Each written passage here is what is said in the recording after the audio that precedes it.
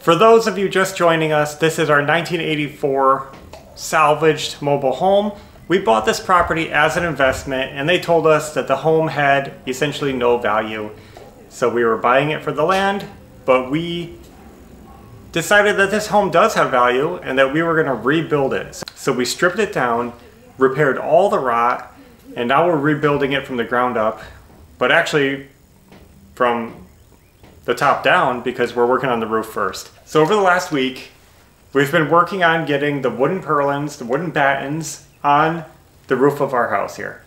And we're only working on this side right here so far, which is the back. All the wood is on the roof. We got our metal drip edge installed and now today is metal day. So hopefully we can get some metal panels on the roof. Now this is gonna start slow and then it should speed up because the first panel we got to be extra careful on. The first panel sets the whole tone of the day.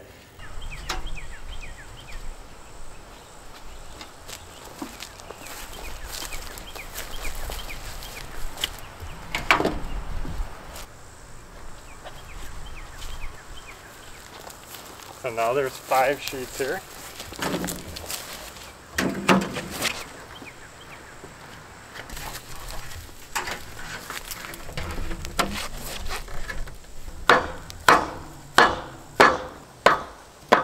That's looking good.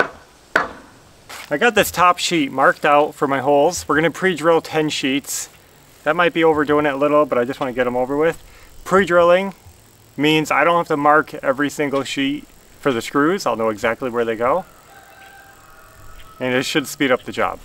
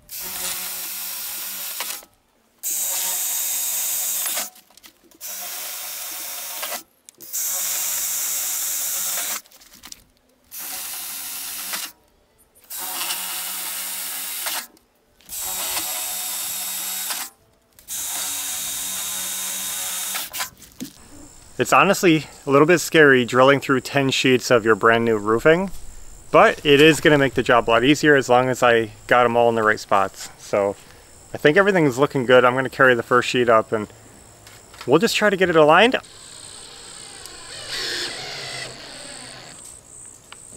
the question is, how do we check that? Let me just check if we're still at two inches. Just maybe like reach over as far as you can.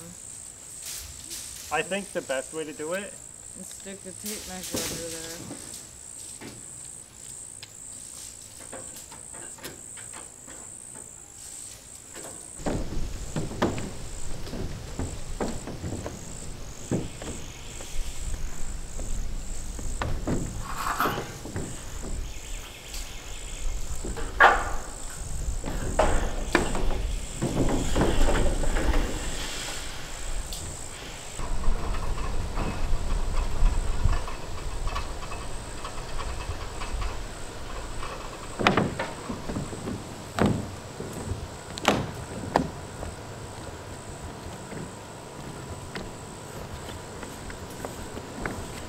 Made it with another sheet. Mm-hmm.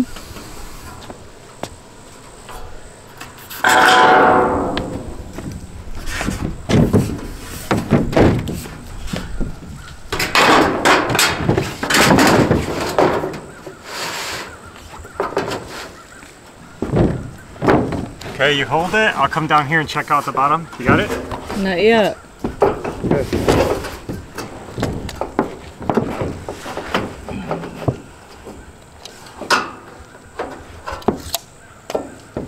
That good?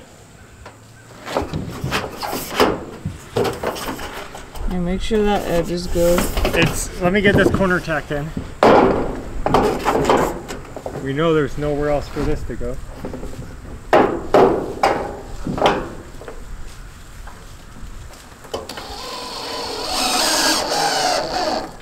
Okay. We don't know if our drip cap is perfectly straight, but we're maintaining pretty well. You got that engine pretty good? This one? Yeah.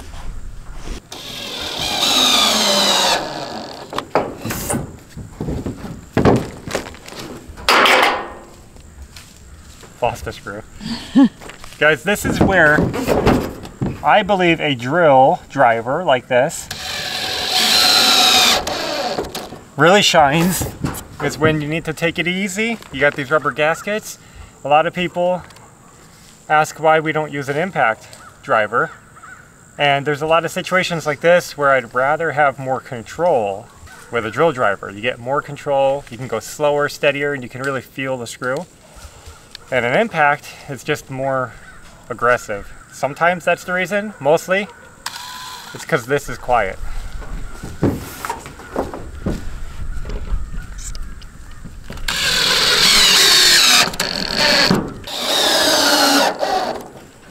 Yeah.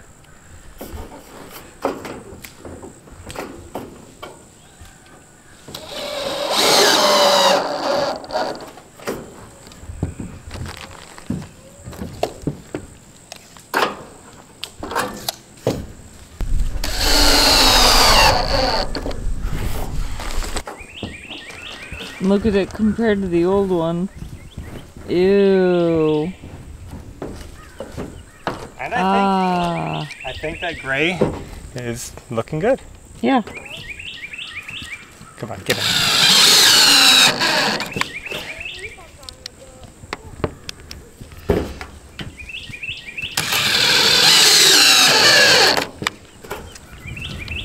These screws are nice.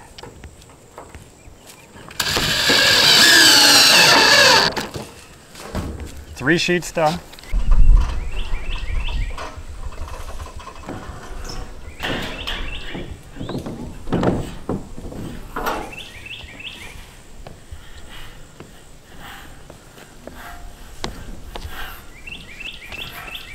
Have one leg longer than the other by the time we get done. Mm-hmm.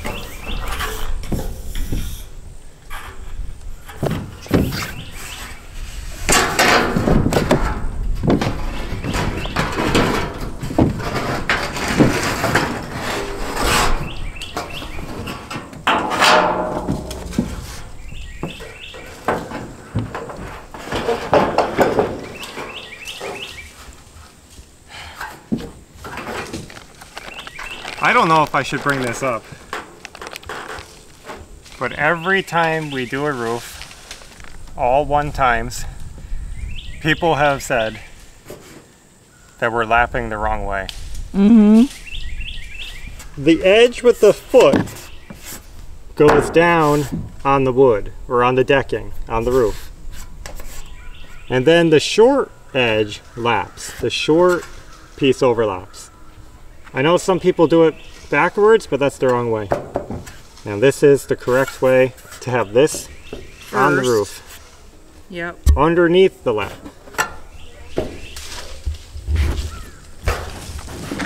And you can't even tell if you're looking. That's just the way it is. Here, here's how it overlaps over here. It goes just like that over the, the thing, the rib. I'm at like two and an eighth. We are going down. Slowly, we're going down. Well, that's too much. Yeah, we gotta start pulling it back. If I do this, if I just compress this a little bit, I know it's hard with that loose, but if I just compress it a little bit, the next sheet will be angled upwards a little bit. Mm-hmm. So we'll tighten that one up. I can take this and where it's sitting naturally, and see I can I can kind of compress this back. Yeah.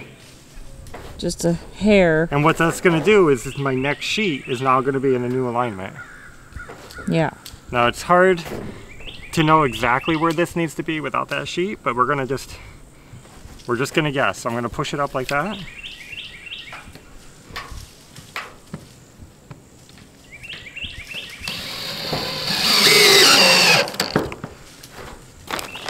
Okay. So now we have a new parallel line to run off of.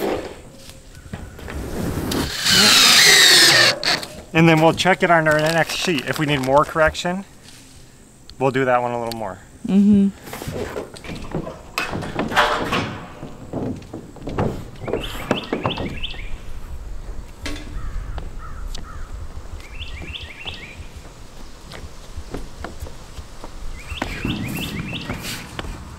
Good thing it's not too windy. A little bit of wind. Really blows it around. Wow, it looks so white in the sun, doesn't it? Yeah. Could you imagine how much brighter a white panel would look? Yeah. All right, you got it? I do now. So yeah, we bought a metal roof. It's just a standard ribbed roofing. We got 29 gauge standard thin roof. We want to keep it lightweight. With the 2x4 straps that we put on the roof and the metal roofing, we're only adding less than two pounds per square foot on a house. Two pounds per square foot. That's not too bad. It's about the lightest you can get a roof. Now this home wasn't built with heavy weight in mind. In fact, it's rated with the state minimum 20 pound per square foot load rating. So that's why we're trying extra hard to keep this roof lightweight. Now you would think that with a 20 pound per square foot rating, load rating, and us not being in a snow zone, we don't get any snow, that we would be fine adding another couple pounds to the roof. But there's another thing that people don't think of when they think of roof load ratings. They always think of snow load, but there's actually such a thing as wind load.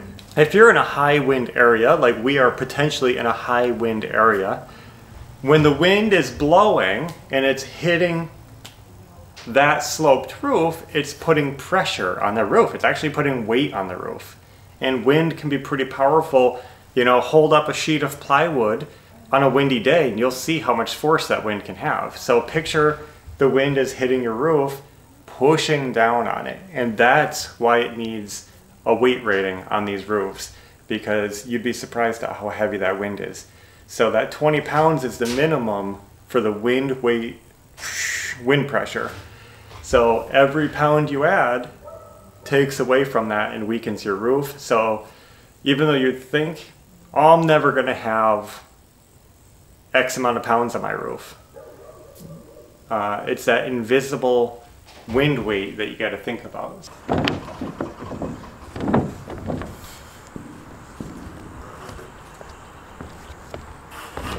Whoa, my feet are wet from that grass. I got to be careful. Mm-hmm. It stays damp in the shade.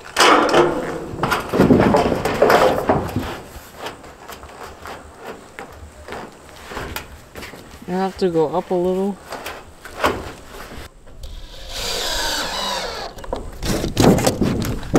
When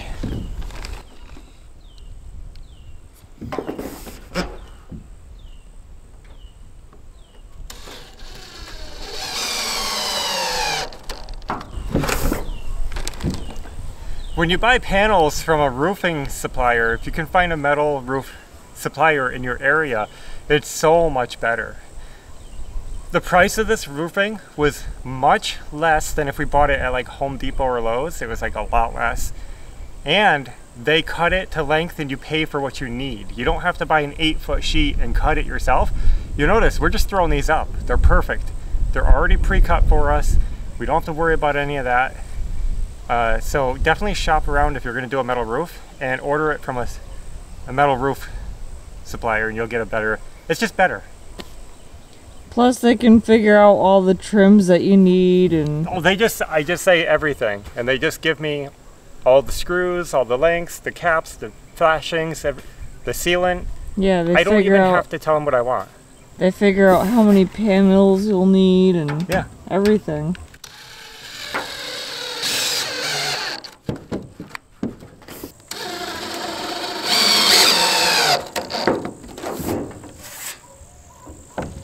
This is going actually pretty quick. There it is so far. Look at the difference. Nice. Sometimes I rub it on the grass a little bit. Just in case there's any shavings stuck to the back.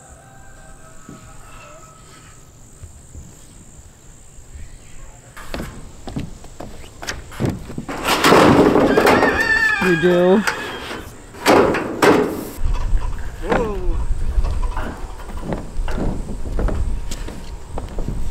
Every time I climb the ladder, I feel like a breeze comes. Yeah, it does.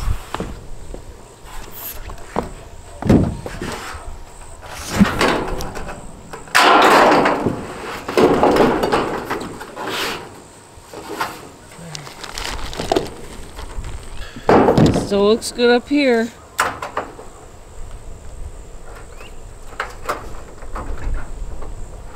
Hard to tell.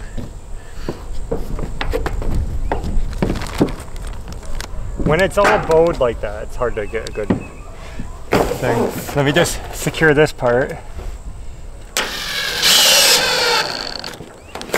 Good.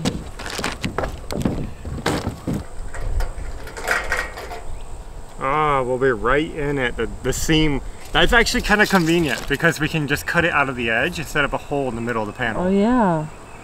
It's, that could work out interestingly. It's right, somewhere right in So there. what's gonna be the best tool to cut it? I'm gonna grab the nibbler. I think I can do a curve. Okay. I just want to show how straight our screw lines look. Not like a thousand percent perfect, but they look so good. When you have them in pre-drilled holes.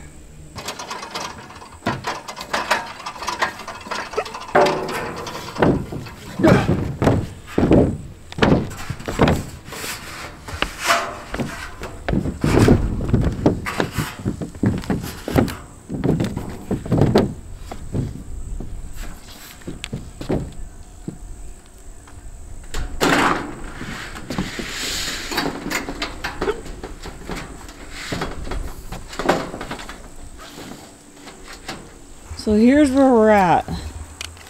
You have to cut out for this exhaust fan pipe. This is gonna be exhausting. Okay, ready? Yep.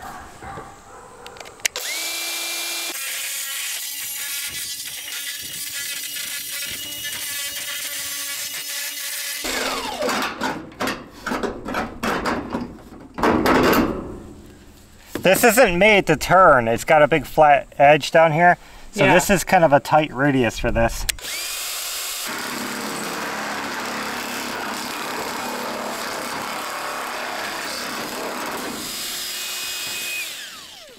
Okay.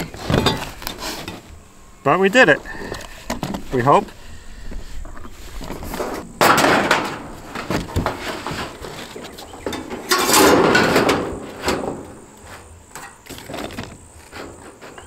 That worked out. It's not bad. This is gonna need support because look it. If this was in the middle of a sheet, we might be able to get away with this. But since this piece is gonna be overlapping, there's nothing to stop this from Okay. sagging down. You see? Yeah. We need to do something to support it. Okay, so let's get a piece of 2x4 and we'll do one right here below the pipe And above. and above. Do you want to see me putting that in? yeah.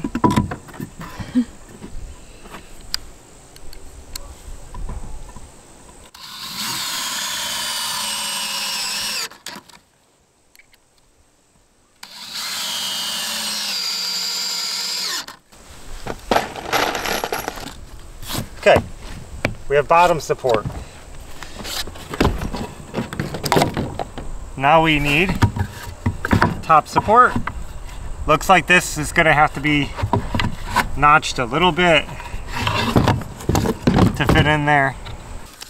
So we realized we need a one by for this top one. So we had to cut another one.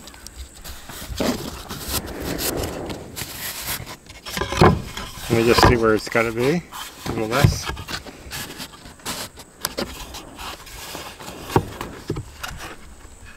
Probably somewhere in there.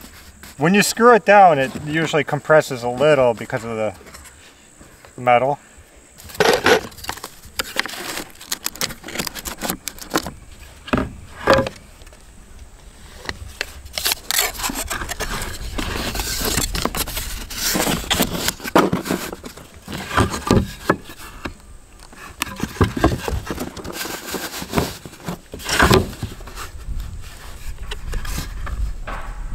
Yeah.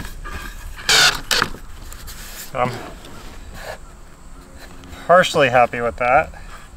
That'll be close enough for the metal though, that the metal will be supported. Let's try it now. Okay.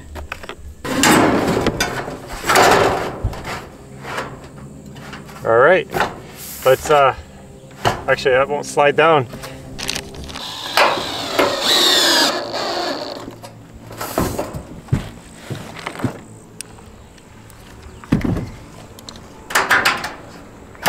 Still good.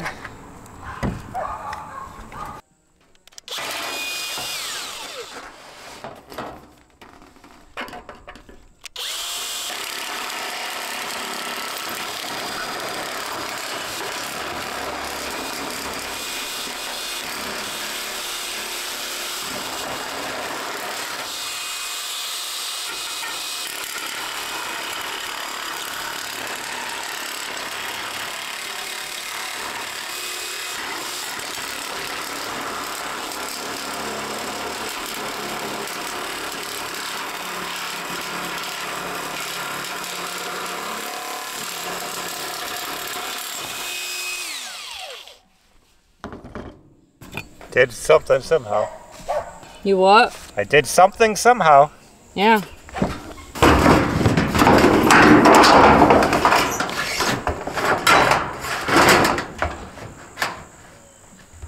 Professional. Yeah.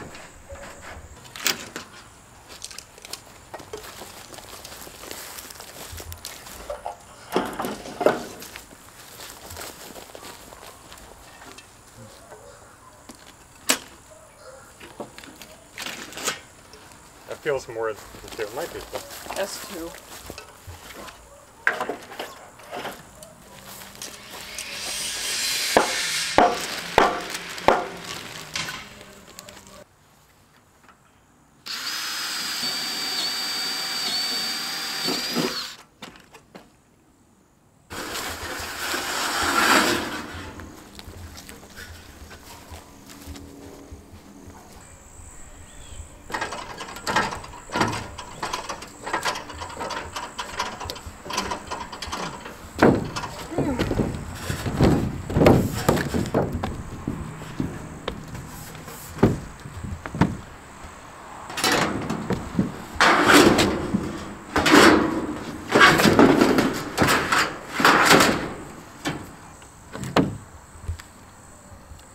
This might be our last one. Really? I mean, on the go around the backyard. Look at the roof.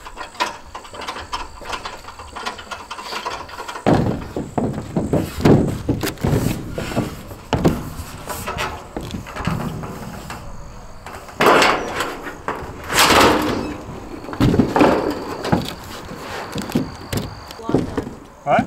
That's a lot done. Yeah.